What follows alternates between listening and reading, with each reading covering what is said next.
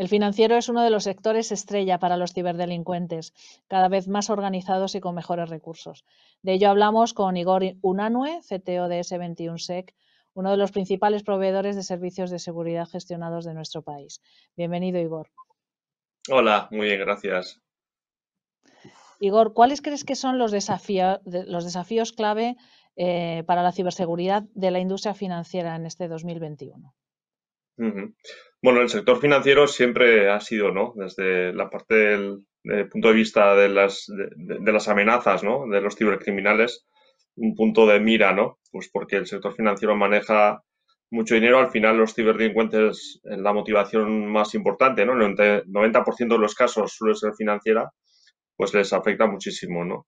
Pero es verdad que, no es actualmente donde más se están incidiendo los ataques. Los incidentes de seguridad están ocurriendo más bien en otros sectores actualmente, pero el sector financiero sigue sufriendo las típicas que solían sufrir, que son los ataques hacia sus clientes. El malware financiero siempre ha existido y existirá, y todas las redes botnets, la, la mayoría de ellas eh, tienen afectación en el sector financiero. O sea que sigue teniendo sus problemas, ¿no? Eso hay que tenerlo en cuenta. Y creemos que durante el 2021 además pueden afectar más los problemas de, las vulnerabilidades Zero Day, en todo el tema de ataques dirigidos que pueda haber hacia entidades financieras, más para robar información de las credenciales, de las tarjetas de crédito, más que para incidir directamente en un ataque financiero, ¿no? Pero, pero bueno, son tendencias que van cambiando cada mes, pues hay que ir viendo, ¿no? Cómo va, va, va a ser el 2021. ¿Y, cómo se está enfrentando ese 21SEC eh, a ese cibercrimen bancario que se está expandiendo tanto? Bueno, nosotros trabajamos en, todo lo que es la monitorización de los cibercriminales, ¿no? tanto en lo que es el malware que vaya surgiendo, sobre todo los nuevos, ¿no? Los antiguos ya se conocen, las herramientas desplegadas las entidades financieras ya suelen detectarlos. Eh, pero hay, otras nuevas que surgen que, no son fácil de detección. Además, teniendo en cuenta que ahora un factor de ataque es el correo electrónico, ¿no? con el tema de las técnicas de phishing o, la carta del CEO, ¿no? que mandan información falsa a través del correo electrónico simulando que es el director general y tal. Este tipo de ataques son las típicas que hoy en día se están viendo y ya las entidades financieras ya tienen sus sistemas de protección ¿no?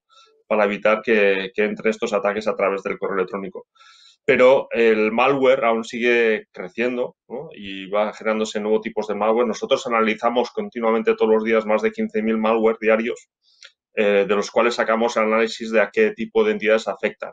en muchos casos se puede determinar incluso a qué banco en concreto o qué entidad financiera en concreto está afectando ese malware. Esos son los trabajos que hacemos, además de recuperar credenciales robadas, monitorizamos constantemente la deep web por si van apareciendo tarjetas de crédito, información eh, robada a las entidades financieras. Bueno, es, un tipo de análisis que hay que hacerlo continuamente y nosotros estamos ahí con nuestro equipo de Threat Intelligence trabajando, ¿no?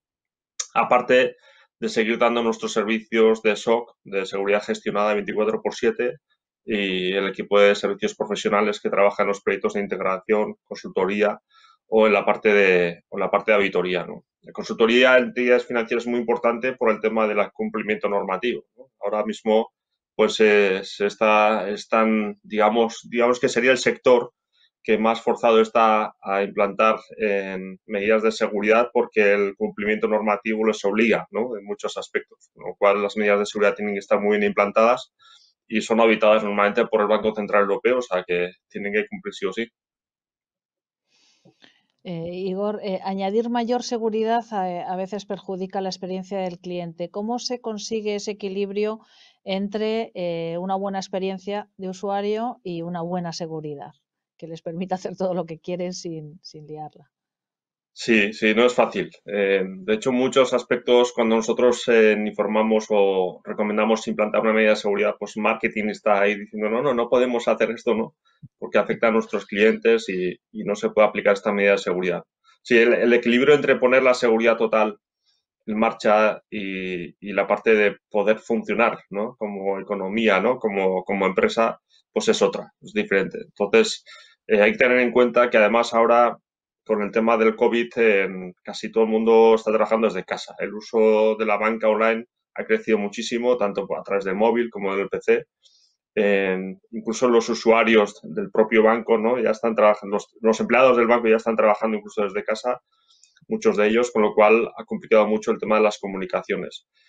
Limitar el acceso o limitar eh, las comunicaciones con el tema de seguridad no es tan sencillo. Hay que dejar abiertas ciertas puertas para que siga funcionando, la economía tiene que surgir y mientras tanto, en paralelo hay que seguir controlando las, la, seguridad, ¿no? Eh, por eso nosotros decimos que hay que tener los ojos siempre encima de aquellos puntos que se hayan detectado como débiles y que se conoce que puede ser un punto de riesgo.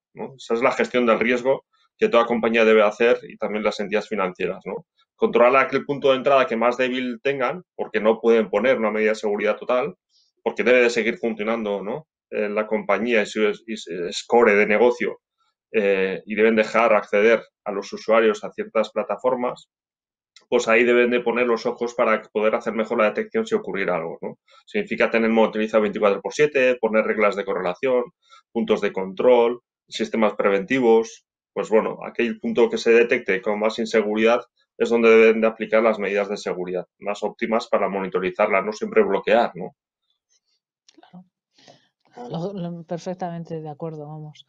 Eh, y mm. ya por último, ¿cuáles serían tus recomendaciones de seguridad para el sector de servicios financieros?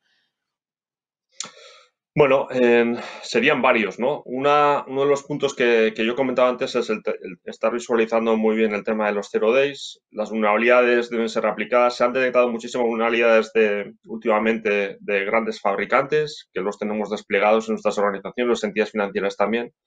Y los atacantes cibercriminales siempre utilizan estos ataques, ¿no? Eh, explotando estas vulnerabilidades. Con lo cual, tenerlas protegidas, ¿no? Parcheadas todos los sistemas correctamente es clave para que no tengan ninguna entrada, ningún tipo de fuga de información. Hay que tener en cuenta que muchos de los tipos de ataques que están viendo últimamente son silenciosas.